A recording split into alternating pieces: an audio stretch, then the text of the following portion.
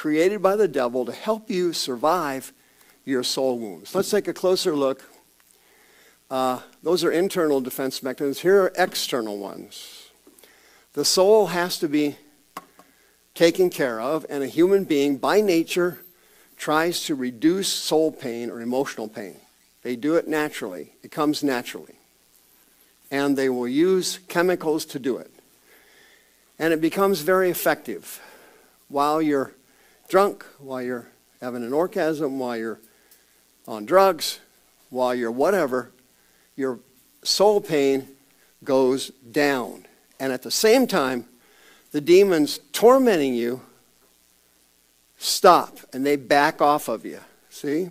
So the demons tell you listen, if you'll get drunk, I'll take a step off of you and you'll feel good for a little bit. Okay? Uh, the opioid epidemic that swept the country